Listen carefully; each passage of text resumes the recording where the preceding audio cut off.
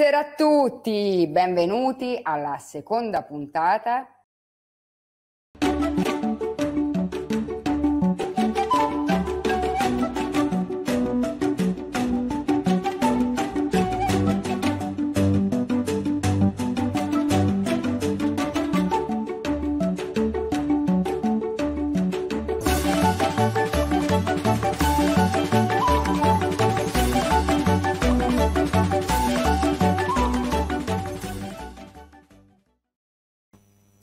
Buonasera a tutti, eccoci tornati in onda in diretta con The Rare Side, storie ai confini della rarità, il social talk di Osservatorio Malattie Rare che mira ad abbattere alcuni stereotipi e a creare un linguaggio e un immaginario nuovo intorno alle malattie rare, ma non intorno alle malattie, intorno alle persone, perché sono le persone ad essere protagoniste delle puntate. E questa è una puntata speciale, è una puntata realizzata in partnership con l'UILDM, l'Unione Italiana Lotta Distrofia Muscolare. Siamo qui insieme a loro e avremo fra poco un ospite che appartiene a questa importante associazione che ha sedi in tantissime città d'Italia. Ma prima di andarlo a conoscere, la solita nota tecnica, la solita raccomandazione per voi che ci state seguendo su Facebook o su YouTube. Scriveteci, commentate, mandateci dei messaggi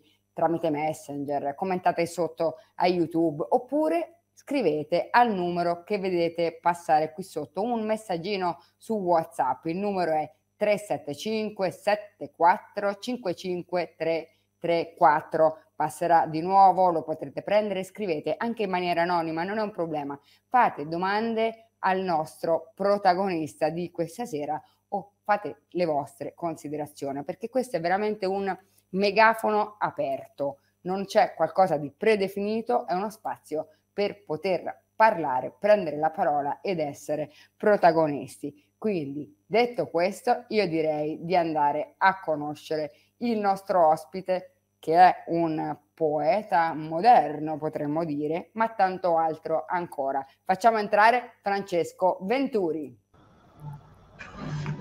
Buonasera. Ciao Francesco. Allora, Buonasera piacere averti qui stasera con noi. Eh, io parto a bomba da una cosa importante che tu hai fatto tra le varie, perché ne hai fatte diverse, ed è un libro. Si chiama Tutto su mia madre? No, quella è cinema. Si chiama Tutto su di me ed è un libro di poesie che stiamo vedendo qui la copertina, poi ci dici anche chi è che ha fatto questa copertina, eh, perché è un libro particolare, ma ci racconti anche com'è nata l'idea e perché un ragazzo, eh, sei giovane, e non ti chiedo l'età perché non si fa, però ha scelto la poesia che non è una cosa così comune.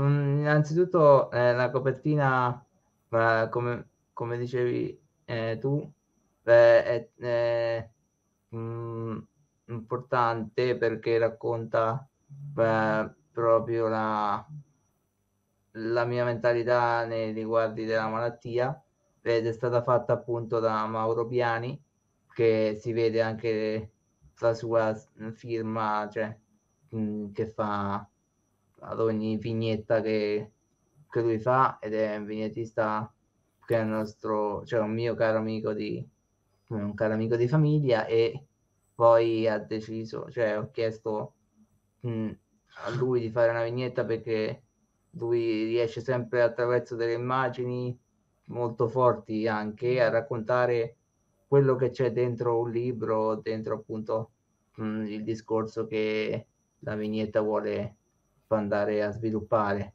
Eh, in realtà io ho scelto comunque la poesia eh, perché io vedo attraverso la poesia un, un, modo, diciamo, per sfogarsi da tutte le problematiche, da tutte, mh, da tutte le sensazioni di un ragazzo eh, che comunque, come diceva anche prima Stefania Pedroni, cioè noi siamo persone, quindi mh, all'interno del libro ho voluto mettere tutto di me, però non tutto di Francesco Venturi Duchenne, cioè ho messo Francesco Venturi, quello che sono io, quindi cioè non la mia malattia, ma la mia persona. Infatti dalla copertina si capisce proprio questo, che io in realtà parlo dei miei problemi, delle mie sensazioni, però da un ragazzo di 22 anni, quindi un, sem- un semplice ragazzo che cerca insomma di trovare un proprio spazio all'interno del mondo. Quindi ecco, io ho cercato, mh, mm, ho cercato eh, di esprimere all'interno di questo libro tutto di me e appunto tutto di Francesco Venturi, quindi senza, cioè parlare della malattia, però senza farsi affossare da essa. Quindi, quindi ho trovato la poesia un modo di sfogarmi e, mh, mm, e sto cercando di sviluppare anche altre tipologie di scrittura perché non mi posso soffermare solo su una, credo sia importante sperimentare.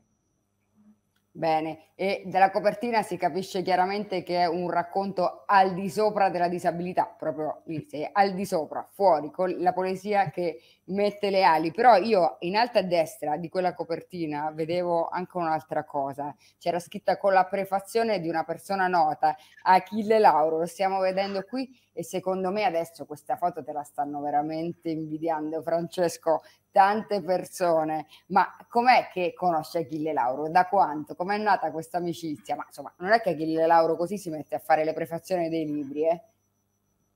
Eh, l'ho, con- l'ho, conosciuto nel 2016, eh, fatto un concerto, Beh, io poi ho avuto la fortuna di fare una foto con lui e di conoscerlo anche fuori dal palco e mh, mm, io dopo la foto avevo chiesto, ho chiesto insomma alla gente se avesse un contatto, una mail o qualcosa, mentre Lauro ha risposto beh, subito ti do direttamente il mio numero. E da quel momento ci siamo mm, sentiti e la nostra amicizia è cresciuta sempre di più e, mh, mm, e quindi ecco al, poi arrivando vicino ai tempi del libro io eh, ho chiesto a lui eh, se mh, mm, avesse, mh, avesse insomma mh, voglia di collaborare con me all'interno di questo libro e la cosa che mi ha colpito positivamente è che lui ha risposto di sì non perché mh, fosse mio amico ma perché appunto gli, gli era piaciuto proprio il contenuto per, di quello che c'era all'interno del libro perché comunque lì all'interno del libro no ci mette la faccia come appunto eh, persona ma anche come personaggio quindi in realtà eh, comunque cioè, mi ha colpito molto positivamente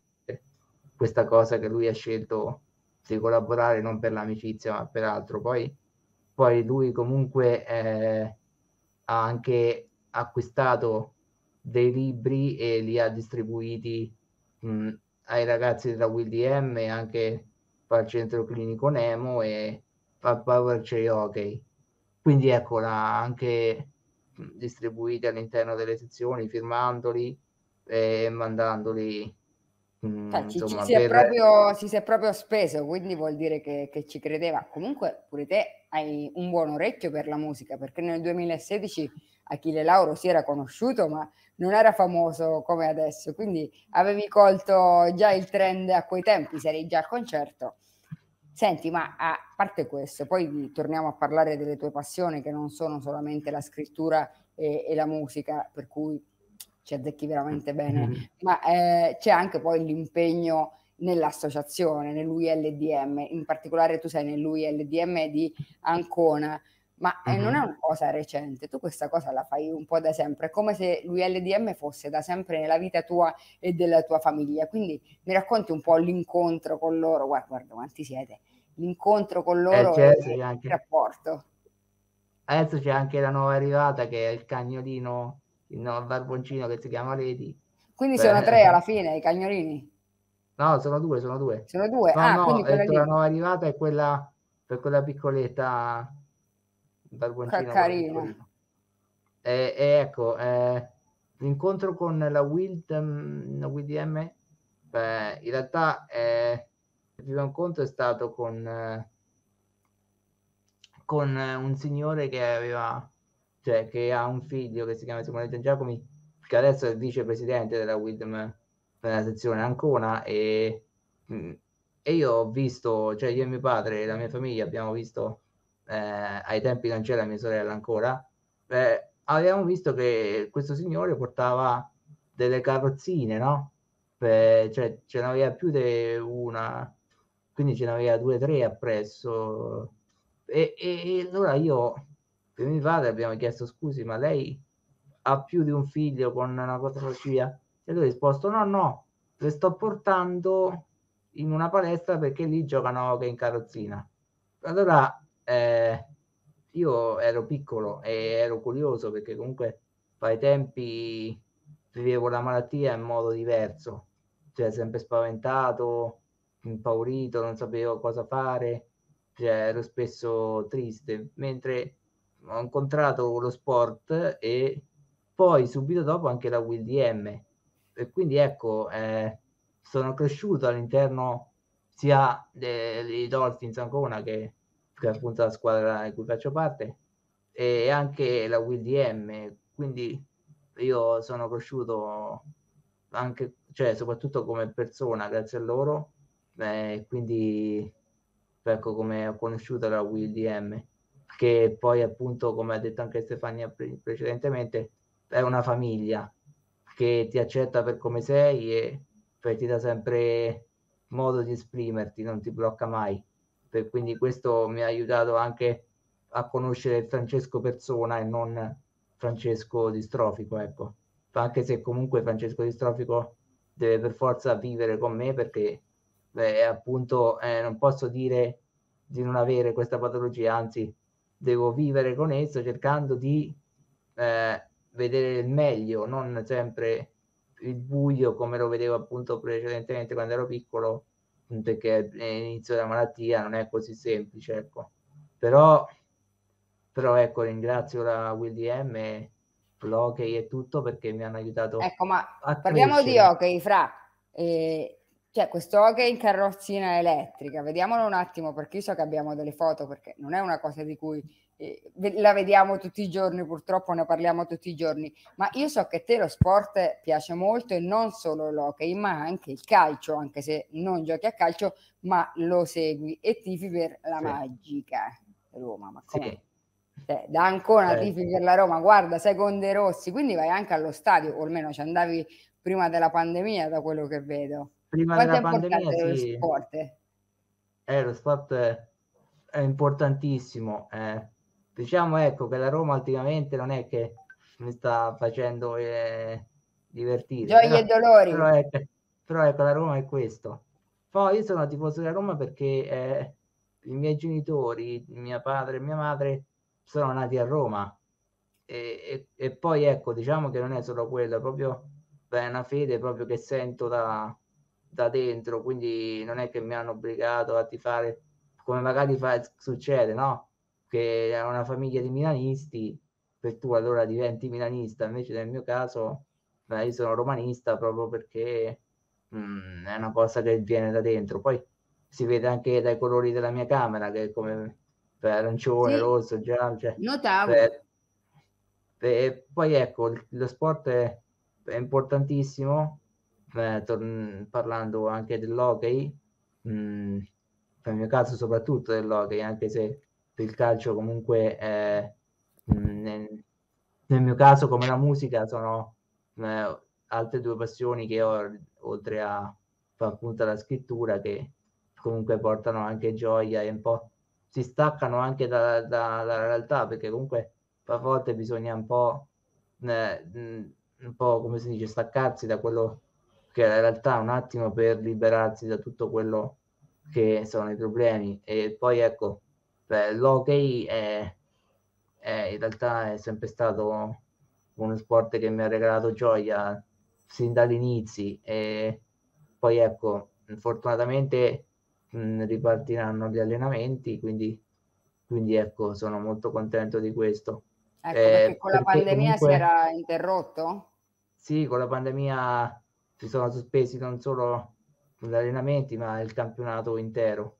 Eh, quindi è stato un, duro colpo per, per, i ragazzi ma anche per, le persone più grandi, perché comunque l'hockey cioè, per tutti, non è che c'è un'età per entrare, quindi l'hockey è, inclusi- è molto inclusivo da questo punto di vista.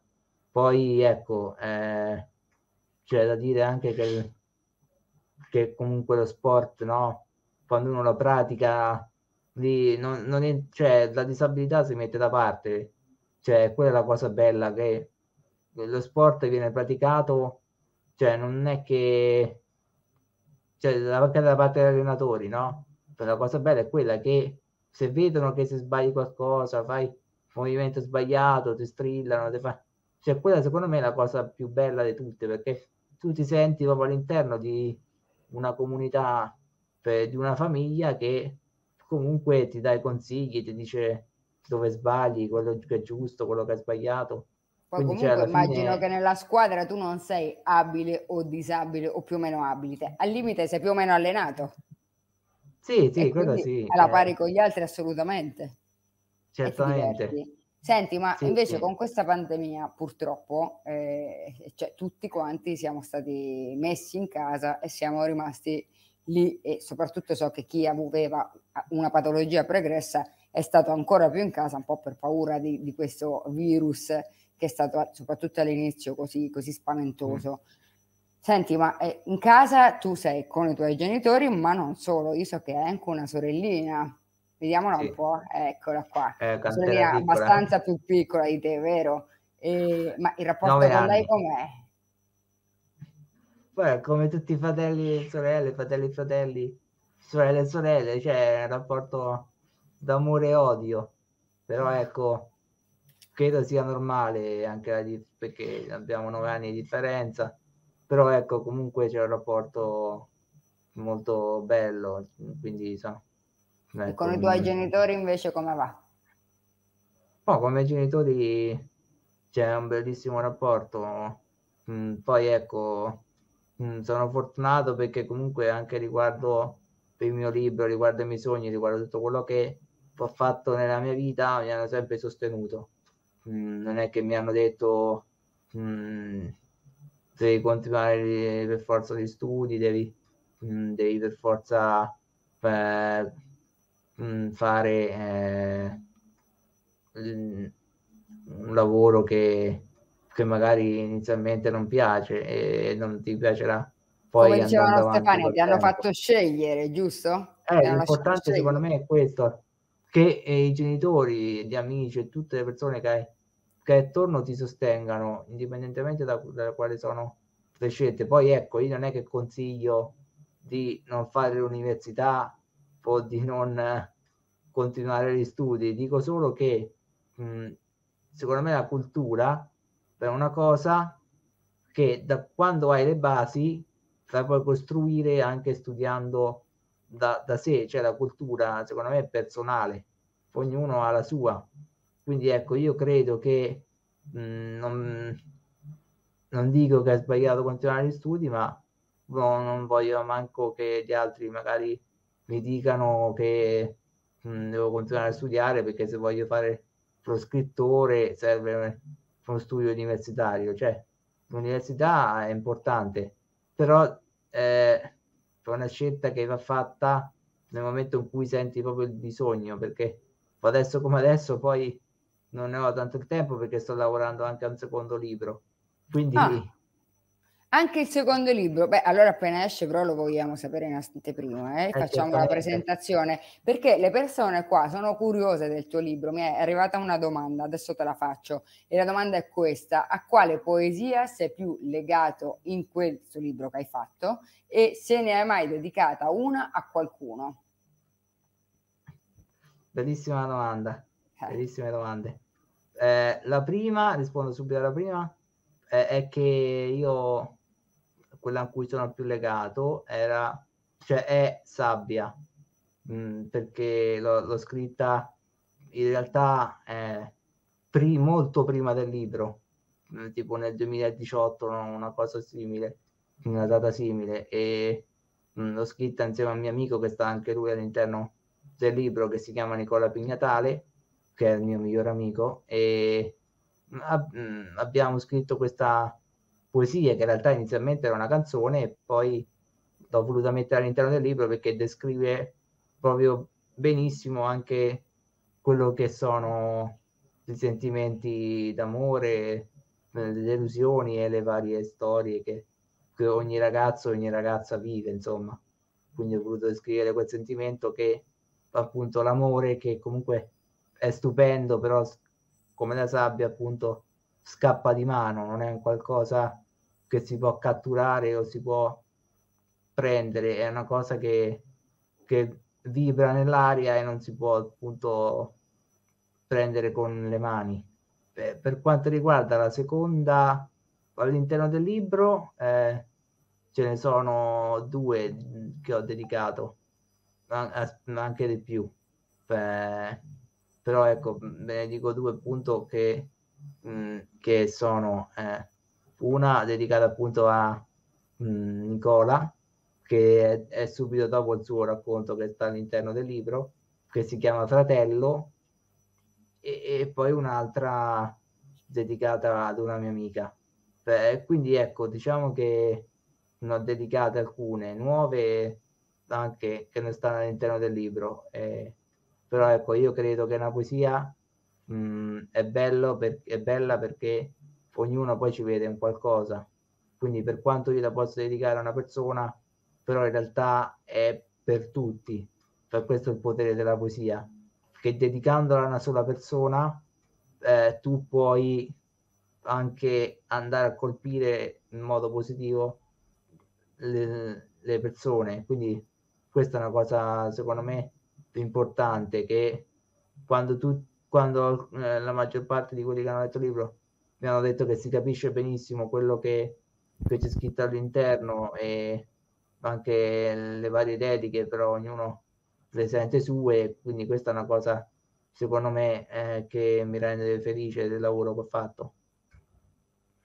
Senti, tu ci hai parlato di un prossimo libro, quindi progetti per il futuro ne hai già, ma eh, progetti per il futuro non saranno solo la scrittura, perché io so che anche a te, come anche a Stefania, piace viaggiare, muoverti, andare in vacanza. Che cosa, che cosa hai in, in tasca per il futuro più o meno a breve, oltre al libro?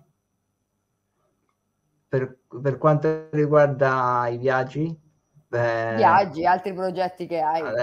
Adesso, altri progetti oltre al libro, eh, i progetti appunto eh, adesso con la mia famiglia, eh, in futuro, nei prossimi mesi o il prossimo anno, quando il Covid darà pace un po' a tutta l'umanità, eh, vorremmo andare, vorremmo andare o a Londra o a Amsterdam. Stiamo decidendo, insomma. Ti eh, piacciono i posti freddi? Eh, in realtà no, io sono molto freddoloso, però, però ecco, eh, ci muoviamo spesso, cioè quasi sempre nei periodi caldi.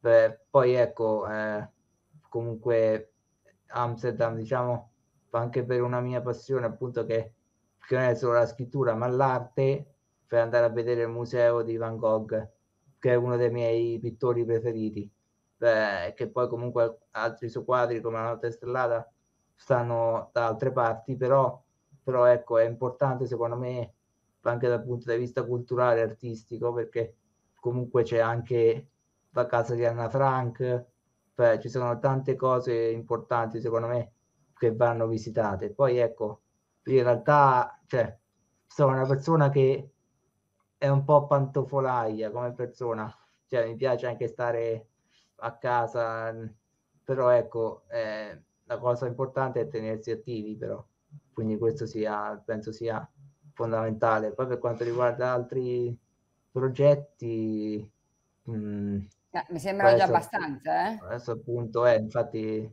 Mhm. De- devi continuare a giocare a hockey, devi fare un altro libro e quindi devi anche studiare per farlo.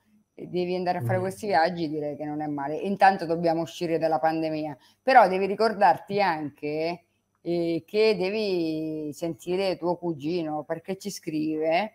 Eh, non è una domanda, ma vorrei solo dire che Francesco, mio cugino, è il cugino migliore in assoluto, unico e raro e ti voglio tanto bene. Immagino cugino, ma forse anche la cugina, eh? non lo so, lo sai tu. No, no, il cugino, il cugino, che tra l'altro abita sopra di me.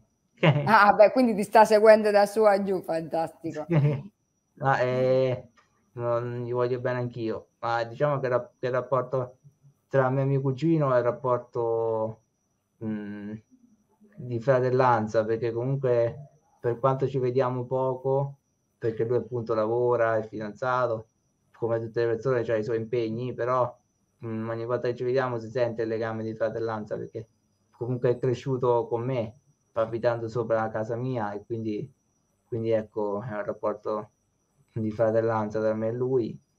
E ecco, questo è. Va bene, Fra, abbiamo praticamente esaurito il tempo, però io volevo farti anche un'altra domanda. C'è tuo cugino, ma io immagino che tu hai anche degli amici, esci, cioè, lascia perdere la pandemia, parliamo come, insomma, della vita che c'era prima e quella che ci auguriamo tornerà ad esserci. Gli amici, il tuo rapporto con gli amici. Così chiudiamo con una Beh, cosa. Il, rapporto, il, rap- il, mio rapporto, il mio rapporto con l'amicizia beh, fortunatamente bellissimo perché ho tanti amici che mi vogliono bene, che mi sono accanto e quindi sono felice di questo.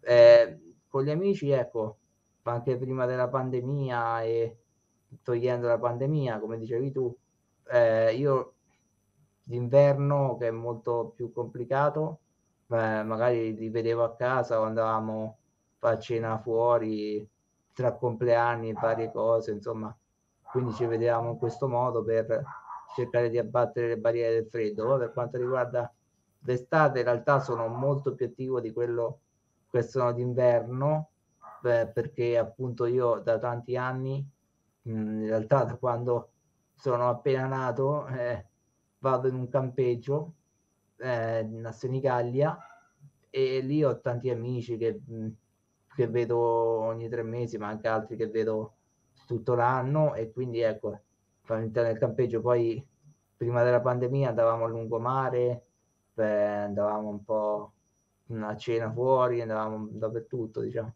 Poi ecco, stavamo anche all'interno del campeggio, però, però ecco, eh, la cosa bella appunto non è quello che fai e dove vai, ma con chi, con chi sei.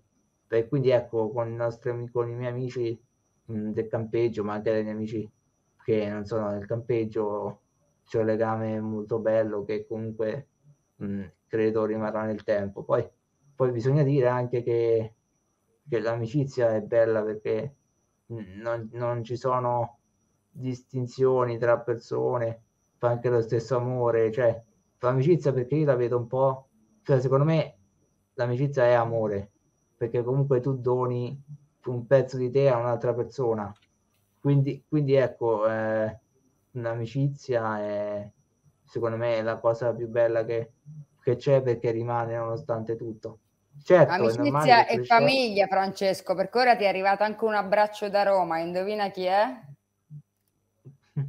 È tuo nonno, tuo ah, nonno. nonno. Sì, è veramente una grande famiglia Ciao, questa nonno. dei Venturi iperconnessa. Sì, diciamo che è il nonno materno, Beh, perché il nonno paterno purtroppo no, non l'ho conosciuto, però, però ecco, eh, nonno mm, è stato uno dei primi che mi ha sostenuto per il libro e per insomma tutti i miei progetti. Nonostante la distanza, mi ha sempre sopportato. E questo nonno. Nonno, cugino, sorella, genitori, ULDM, gli amici, la squadra dell'hockey. Io direi che hai, hai veramente un bel gruppo tutto intorno a te. Quindi dai, manda un saluto a tutti, così andiamo a chiudere tu, tutto questo stuolo di gente che è intorno a te, Francesco, e anche Achille Lauro, che dici? Eh sì. Ciao a tutti e ringrazio tutte le persone che hanno creduto in me e vi voglio bene. Ciao Francesco, noi ci sentiamo ciao, presto. Ciao, ciao Grazie. E allora siamo arrivati alla fine anche di questa puntata speciale dedicata alle storie dell'Unione Italiana lotta alla distrofia muscolare, storie che sono state messe a disposizione per The Rare Side, storie ai confini della rarità. Questa è solamente la seconda puntata, ne avremo altre, sono in tutto sei, la prossima è il 22 febbraio alle ore 18, sempre sui nostri social, quindi mi raccomando non mancate perché anche quelle saranno puntate interessanti, scoppiettanti e con dei protagonisti molto differenti tra loro, unici come unica è la vita di ogni persona. Io ringrazio la Ferpi e l'Alleanza Malattie Rare per esserci vicino, per fare un grandissimo lavoro di diffusione sui social. Ringrazio ovviamente la UILDM per questa puntata speciale e i nostri altri partner, l'ospedale pediatrico Bambino Gesù di Roma e il Festival internazionale Uno Sguardo Raro. E chiaramente ringrazio nuovamente gli sponsor che ci consentono di essere qui per la seconda edizione, quindi il secondo anno di seguito di The Airside e sono Alexion, Alpha Sigma, Amicus Therapeutic, Argenx, Chiesi Global Rare Disease Italia, Intercept, Chiova Kirin, Novartis, PTC Therapeutic, Roche, UCB e VitaFlow. E naturalmente ringrazio tutti voi spettatori che siete stati qui fino ad ora e tutti voi che avete anche commentato e resi ancora più interessanti queste testimonianze di vita. Vi do appuntamento al 22, ci vediamo presto, ciao!